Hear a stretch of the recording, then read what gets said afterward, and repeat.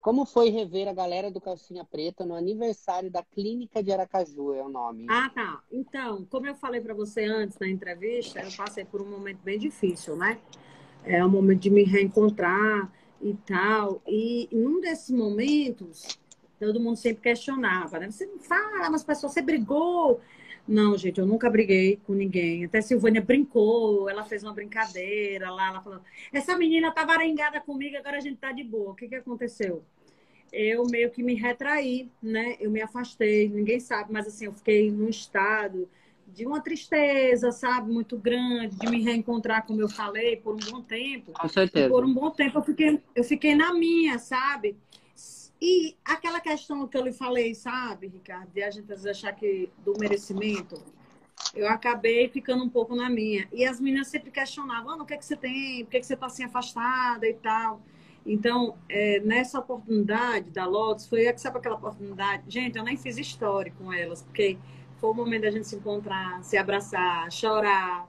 E elas falarem, por que, que você fez isso? Porque a gente tem uma, uma história, uma ligação muito forte, né, de muitos anos e de muito respeito, enfim.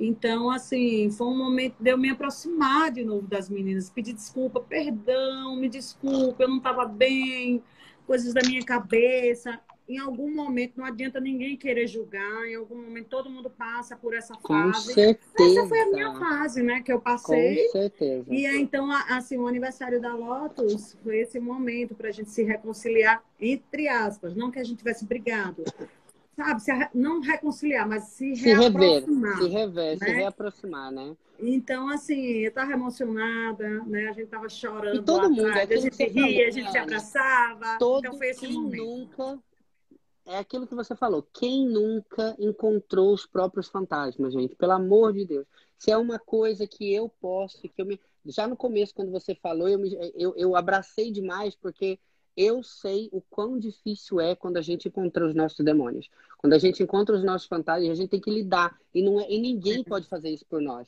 As pessoas podem vir, dar aquele tapinha e falar, ah, vai tudo dar certo. E, gente, muitas fazem por amor, alguns fazem por sacanagem, mas a única pessoa que pode resolver é a gente.